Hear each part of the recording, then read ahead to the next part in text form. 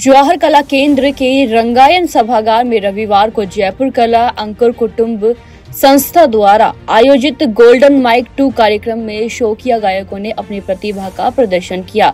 इस संगीत में कार्यक्रम में नए और पुराने गानों को गाकर कलाकारों ने श्रोताओं का मन मोह लिया। अमित अग्रवाल और हरीश गहलोत ने जीवन से भरी तेरी आँखें और अपने सुरीले अंदाज में प्रस्तुत कर कार्यक्रम की शुरुआत की, जिसने श्रोताओं को मंत्र कर दिया।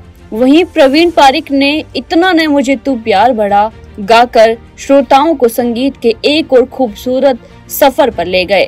शंकरलाल गर्ग की अनोखी प्रस्तुति कार्यक्रम के इस खास आकर्षण रहे संस्था अध्यक्ष शंकरलाल गर्ग, जिन्होंने अपने कंठ से 60 प्रकार के घुंघरुओं की आवाज़ निकालकर सभी को आश्चर्यचकित कर दिया।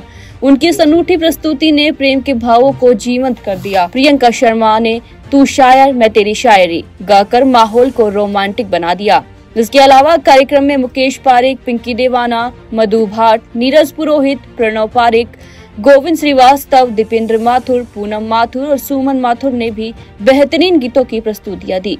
संस्थापक संजय माथुर ने बताया कि गोल्डन माइक टू का उद्देश्य शो किया गायकों को मंच प्रदान कर उनकी प्रतिभा को निखारना है। इस कार्यक्रम में सभी कलाकारों ने अपनी अपनी प्रस्तुतियों से संगीत प्रेमियों का दिल जीत लिया।